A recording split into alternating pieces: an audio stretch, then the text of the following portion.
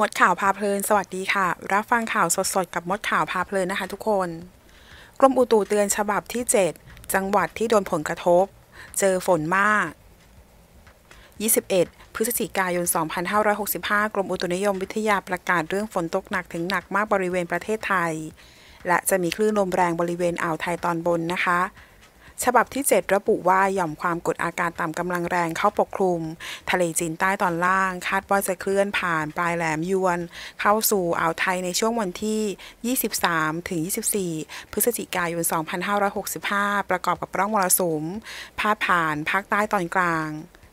ส่งผลให้มีฝนตกหนักถึงหนักมากบางแห่งในภาคตะวันออกเฉียงเหนือตอนล่าง ภาคกลางรวมทั้งกรุงเทพมหานครและปริมณฑล ภาคตะวันออกและภาคใต้ จึงขอให้ประชาชนบริเวณดังกล่าว ระวังอันตรายจากฝนที่ตกหนักถึงหนักมากและฝนที่ตกสะสมนะคะ ซึ่งอาจทำให้เกิดน้ำท่วมฉับพลัน แล้วก็น้ำป่าไหลหลาก โดยเฉพาะพื้นที่ลาดเชิงเขา ใกล้ทางน้ำไหลผ่าน และพื้นที่ลุ่มไว้ด้วยค่ะ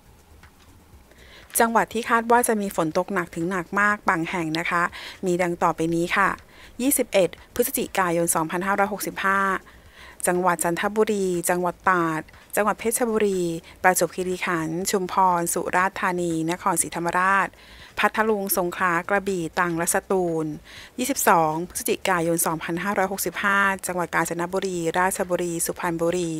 พระนครศรีอยุธยา สมุทรสงคราม สมุทรสาคร นครปฐม รวมทั้งกรุงเทพมหานครและปริมณฑล จังหวัดนครนายกปราจีนบุรีสระแก้วฉะเชิงเซาชลบุรีระยองจันทบุรี แล้วก็จังหวัดตราดค่ะ รวมไปถึงจังหวัดเพชรบุรี ประจวบคีรีขันธ์ชุมพรสุราษฎร์ธานี นครศรีธรรมราชพัทลุงสงขลาปัตตานียะลานราธิวาสระนองพังงาภูเก็ตกระบี่ตรังและสตูล ช่วงวันที่ 23-24 พฤศจิกายน 2565 ภาคตะวันออกเฉียงเหนือจังหวัดมุกดาหาร ชัยภูมิ ขอนแก่น มหาสารคาม ร้อยเอ็ด ยะโสธร อำนาจเจริญ นครราชสีมา บุรีรัมย์ สุรินทร์ ศรีสะเกดและอุบลราชธานีค่ะ ภาคกลางนะคะ จังหวัดนครสวรรค์ อุทัยธานี ชัยนาท กาญจนบุรี ราชบุรี สุพรรณบุรี ลบบุรี สระบุรี สิงห์บุรี อ่างทอง พระนครศรีอยุธยา สมุทรสงคราม สมุทรสาคร นครปฐม รวมทั้งกรุงเทพมหานครและปริมณฑลนะคะ ภาคตะวันออกจังหวัดนครนายก ปราจีนบุรี สระแก้ว ฉะเชิงเซาชลบุรี ระยอง จันทบุรี แล้วก็จังหวัดตราด ภาคใต้จังหวัดเพชรบุรี ประจวบคีรีขันธ์ ชุมพร สุราษฎร์ธานี นครศรีธรรมราช พัทลุง สงขลา ปัตตานี